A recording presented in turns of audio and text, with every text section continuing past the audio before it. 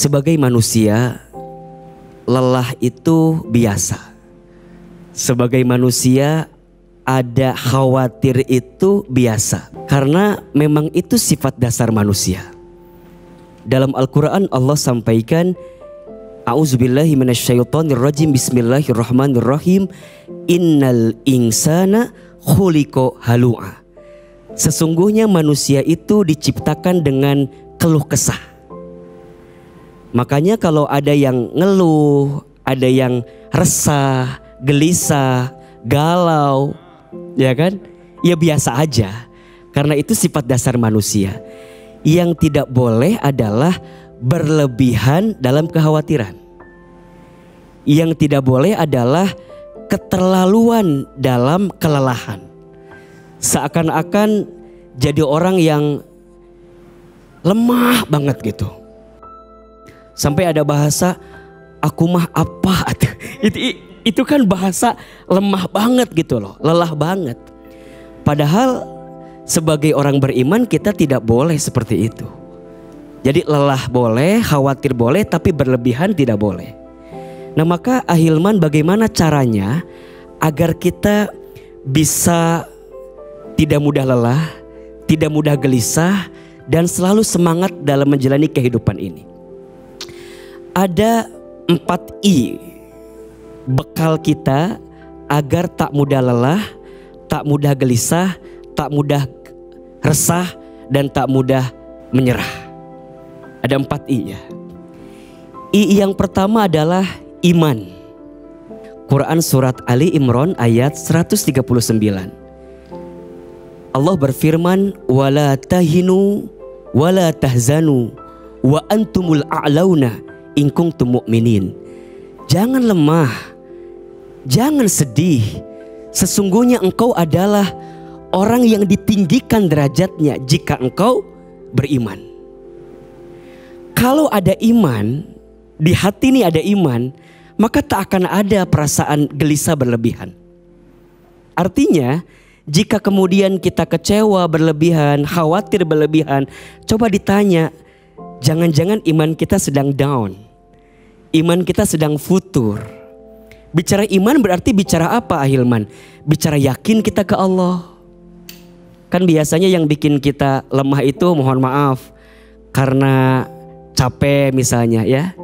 Ibu yang jadi istri jangan merasa capek karena istri itu pahalanya besar banget.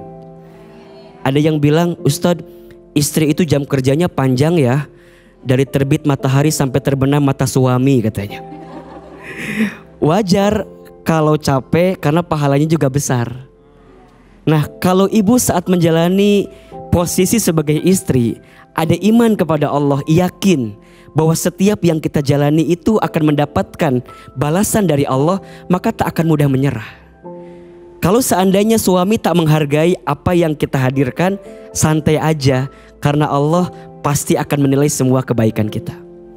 Begitupun para ayah, para suami yang di rumah, Anda mencari nafkah banting tulang, tulang banting, kaki di kepala, kepala di kaki, berangkat pagi, pulang pagi, capek mencari nafkah, istri nggak ngehargain kita, ya biasa aja. Karena bagi kita di hati ada iman kepada Allah. Jadi nikmat. Dan orang beriman tidak mudah berputus asa. Itu yang pertama. Iman, iman. Yang kedua, I-nya adalah istiqomah. Iman itu harus dibuktikan dengan amal. Amal bukan hanya sekedar amal, tapi amal yang istiqomah. Disebutkan dalam Al-Quran surat Fusilat ayat 30. Kata Allah, Innalladzina, sesungguhnya orang-orang, Qalu yang mereka mengatakan, Rabbunallah, Tuhan kami adalah Allah. Thummastaqamu, kemudian mereka istiqomah di jalan Allah. Perhatikan janjinya. Tatanazzalu alaihimul malaika. Akan ada malaikat yang turun kepadanya seraya mengatakan, Allah takhafu wala tahzanu wa absiru bil jannati allati kuntum tu'adun. Wahai hambaku yang istiqomah, lihat. Wahai manusia yang istiqomah, jangan takut, jangan sedih karena untukmu Allah berikan kabar gembira. Apa itu? surga yang telah dijanjikan untuk kamu. dunia ini memang tempat lelah. Istirahat nikmat yang sebenarnya nanti di surga. Nanti di surga. Dunia memang harus capek, harus lelah, harus berkorban. Bangun di sepertiga malam, menunaikan tahajud. Kudu berkorban apa enggak? Kudu. Ngorbanin ngantuk kita, ngorbanin dinginnya. Betul apa enggak? Ngorbanin malesnya. Betul apa enggak? Puasa di bulan Rajab kemarin yang sunnah-sunnah, ya kan? Kemudian juga nanti Syakban lanjutkan. Kemudian nanti Ramadan. Kalau enggak kuat pengorbanannya, kita akan kecele, pasti akan habis semuanya. Tapi kita percaya bahwa dunia bukan akhir segalanya. Nanti di surga nikmat yang sesungguhnya. Dunia ini bukan tempat tinggal kita. Dunia ini tempat yang akan kita tinggalkan. Hidup bukan untuk hidup, tapi hidup untuk yang maha hidup. Mati bukan akhir kehidupan, justru mati itulah awal kehidupan yang sebenarnya. Istiqomah sampai kapan? Sampai husnul khatimah. Kalau udah istiqomah, nikmat hidup ini. Itu yang kedua. I yang pertama tadi apa?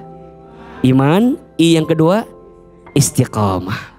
I yang ketiga ilmu. Orang yang punya ilmu adalah orang yang tidak akan mungkin mudah lemah dalam hidupnya. Kenapa? Karena dia tahu ilmulah yang membimbingnya. Ilmulah yang mengarahkannya. Dalam Al-Quran surat Al-Mujadilah ayat 11 Allah berfirman Yarfa'illahu alladhina amanu minkum Walladzina utul ilma darajat. Allah akan mengangkat orang yang beriman dan orang yang berilmu beberapa derajat. Maka kalau sekarang kita merasa lelah, merasa lemah, bahkan ingin menyerah, coba diperhatikan lagi bagaimana ilmu kita. Karena seseorang yang memiliki ilmu, terutama ilmu agama, dia akan mudah menjalani hidup ini. Ya, jangan samakan antara orang yang berilmu dan orang yang tidak berilmu. Orang yang tidak berilmu, maka dia akan menjalani hidup ini dengan penuh kegelisahan. Tapi orang yang berilmu, dia akan mendapatkan kekuatan selama dia menjalani kehidupannya. Seorang ayah, seorang ibu yang punya ilmu, maka dia akan membimbing anaknya dengan penuh kebijaksanaan. Seorang suami, istri yang punya ilmu, maka dia akan menghadirkan kasih sayang yang mendalam bagi pasangannya karena punya ilmu. Makanya sering kali saya sampaikan begitu banyak rumah tangga yang menghadapi kegagalan bukan karena kurangnya cinta, tapi karena kurangnya ilmu. Kalau cinta mah I love you banget lah, love banget. Tapi kadang-kadang ilmu itulah yang kemudian tidak dihadirkan di rumah tangga itu. Dan yang keempat, agar kita tak mudah lelah, belajarlah untuk i ikhlas.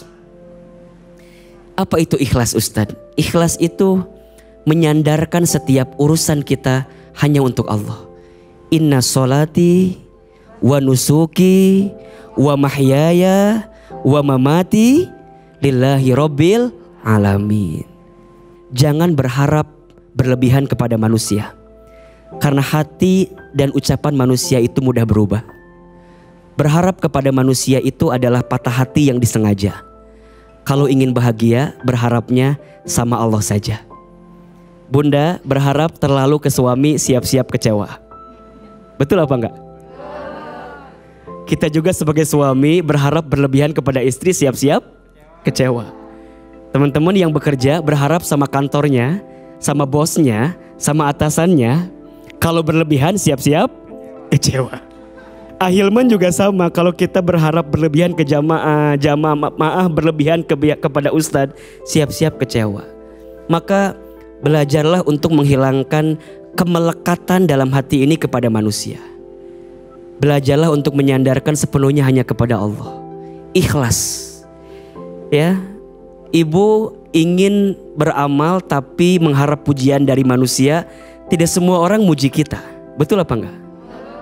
melelahkan sekali kalau kita memaksakan diri untuk mendapatkan pujian semua manusia. Karena pasti akan ada aja orang yang melihat kita berbeda dari apa yang kita harapkan. Betul? Jadi yuk serahkan sepenuhnya apa yang kita hadirkan semata-mata untuk mendapatkan penilaian Allah. Karena kalau Allah sudah mengangkat derajat kita, tidak penting penilaian manusia. Seandainya seluruh manusia memuji kita, tak lantas kita jadi mulia. Seandainya seluruh manusia menghinakan kita, tak lantas kita jadi hina. Kata Ali bin Abi Thalib, jangan sibuk menceritakan tentang dirimu kepada orang lain. Karena yang menyukaimu tidak butuh itu dan yang membencimu tidak akan percaya dengan itu. Empat I agar hidup tak mudah lelah, tak mudah menyerah. I yang pertama apa? Iman. I yang kedua istiqomah. I yang ketiga ilmu. Ilmu. I yang keempat ikhlas. Insya Allah kalau kita punya empat I ini kita akan mudah menjalani hidup dan kita akan tenang dalam menjalaninya. Mudah-mudahan bermanfaat. Wallahu a'lam bisawab.